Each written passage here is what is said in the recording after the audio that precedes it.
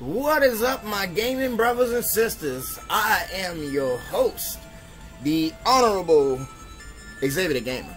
So today we are going to talk about a lot of things. So on this episode of The Talk, we are bringing you the collector's edition of Spider-Man PS4.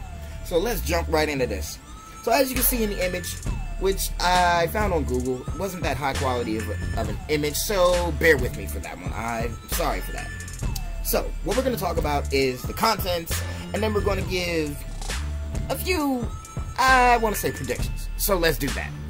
Okay, first thing, as you can see, comes with the full game, a custom steelbook, a white spider sticker, i.e., you know, the Spider Man logo that's on Spider Man's chest. We all see that. A mini art book now that contains unique early look concepts and unreleased artwork.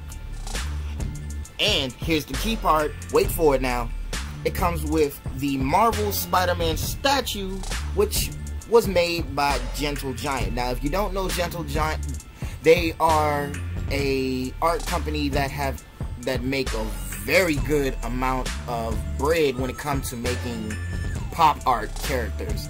And I can attest to that shit very well. So, the statue is basically Spider-Man, as you can see in the image here, standing on what I believe is the raft, which is got yellow tape around it, this, that, and third. And it's actually very well impressive. I will not lie to you about that.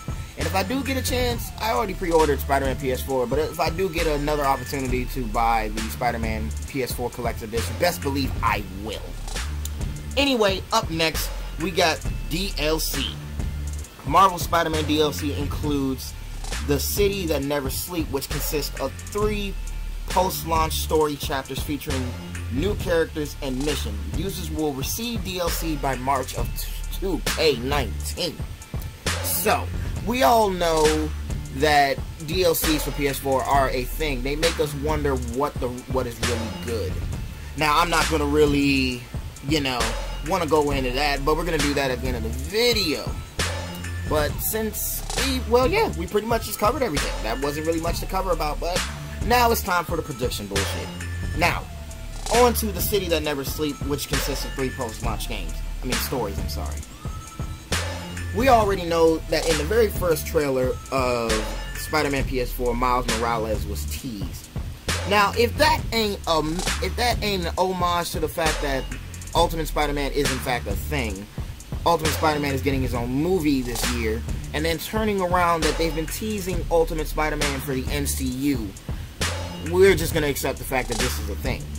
Now, in terms of villains, I'm very well accepting of the fact that I'm not really, really hip to these characters currently. I can't even actually remember their name currently, but I can understand that they're they're they're bringing they're, what they're doing with it. Insomniac is bringing lesser known Spider-Man villains as well as better known.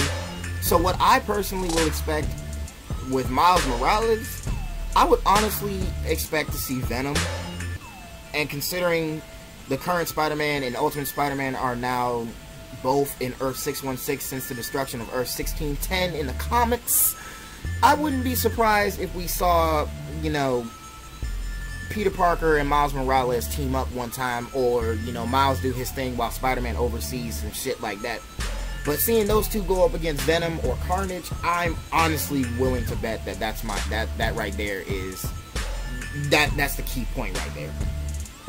And in terms of early concepts, I'm definitely going to go ahead and make this assumption that they probably are going to bring up the original Spider-Man suit because according to them, just like the DLC says, they're including Iron Iron Spider from Infinity War. They're including Spider Punk and one unannounced Spider DLC costume that they'll announce. I guess they said sometime in June. I'm not sure. Don't quote me on that. Don't at me. But with that being said, I can expect them to probably go down the road of how they how they really came to the conclusion of the current Spider-Man design that they have and I really think, by the looks of it, I'm not even gonna lie. They, the current Spider-Man that they that they have, that was finalized, I can tell they definitely paid attention to the original Spider-Man suit the Tom Holland Spider-Man suit, and wait for it now, the Andrew Garfield Spider-Man. Now, see, they they actually went down the road and they actually wanted to, you know, put these together and see how they was to go about that. And now, what's dope about that is the fact that the final result is what's dope about that.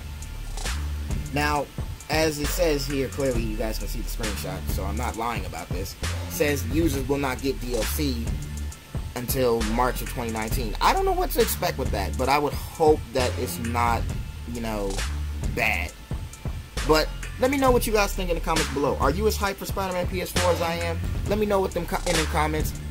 Strike that like that like button with a spider web and subscribe to me. I would love that shit. Thank you guys for watching.